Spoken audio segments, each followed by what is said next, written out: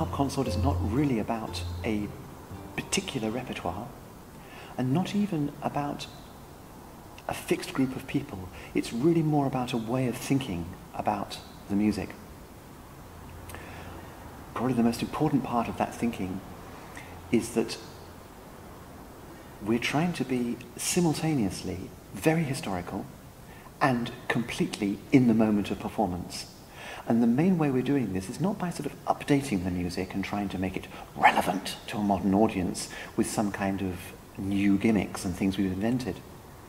Rather, I think some of the things that are, are very historical are the most interesting and unusual for an audience to hear. So what we're trying to do is to do our homework well before the project starts, do all the investigation, find out how the music should be played, how it was played at the time, how people improvised variations, all the things they did to change what was written. But then all of that research we try to put behind us and sort of internalize it so that what we do in the performance is play very spontaneously, but with a spontaneity that we've, if you like, that we've educated ourselves and a spontaneity that we've channeled in certain directions ahead of time. What does govern who plays in the harp consort? How you choose your colleagues? When it comes to selecting colleagues to play with, there's a mix of historical and modern performance considerations. From the historical side, we're looking at the typical instruments for that particular repertoire, for that particular country and time. But from the point of view of performance, I'm looking for the right mix of personalities.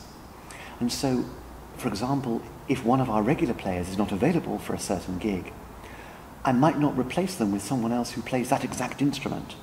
More likely, I'll replace them with somebody who plays another instrument, which is appropriate to that period in time, and somebody who is also a strong personality, rather than replacing them with somebody who just happens to play the same instrument.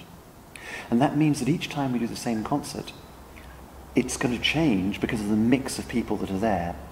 When so much of the music is improvised, then changing one person for another um, perhaps changes the instrument that's in there, but it will change the personality who's in there, and that means a big change. Uh, how did you come? Uh, um, how did you come to the idea of putting together a program of Carolan Irish music? Well, as a harpist, the music of Turlough Carolan is absolutely central. He is the most famous Irish harpist, perhaps the most famous Irish composer. And so it was an obvious target for a historical harpist. But in another way, quite a daring target to aim for. Carolan is regarded by traditional musicians as the grandfather of Irish traditional music. And to approach this repertoire as a historical harpist and as an early musician, it's quite challenging. For a start, the harp that it was being played on at the time is nothing like the modern Irish folk harp. And the approach to the music is quite different. Today's traditional players mostly base their approaches on the way Carolan's music was preserved in the oral tradition, largely based on manuscript sources from the early 19th century, which were then passed down in the oral tradition. Those manuscripts were noted down from the playing of itinerant summer harpists, but actually mostly violin and flute players. Those musicians had themselves moulded the music from the way Carolan wrote it and from the way it was published shortly after his death. And so the earliest sources that we have are quite different to the versions that traditional players know and love today. So it's kind of like.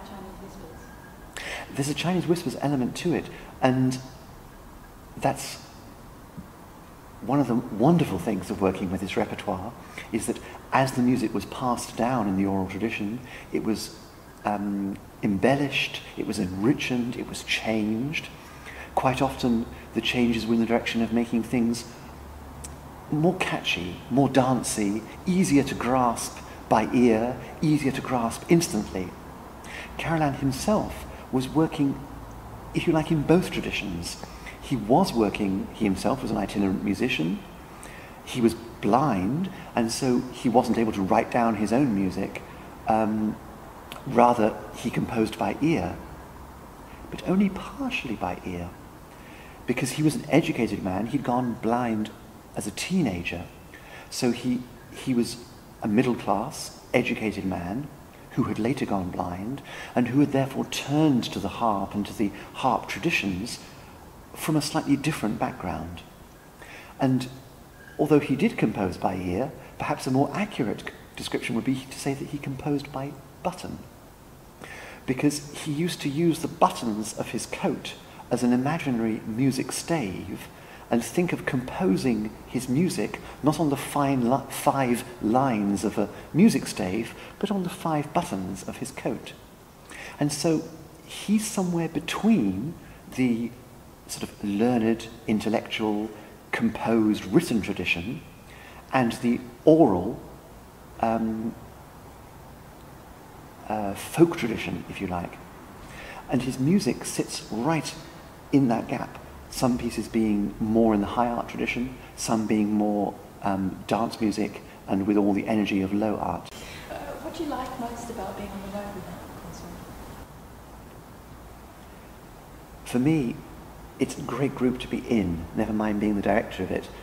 Um, it sounds like a very sort of lovey, theatrical thing to say, but I actually feel immensely privileged to be a member of this group. Um, and I don't feel I own it. I feel I guide it, but I can't push it. I can steer it gently, um, but it's created by all of us together, not just by me.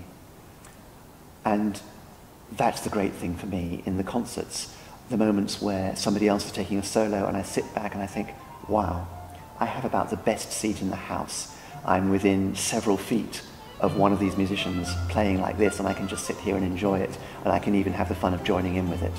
That's an amazing thing.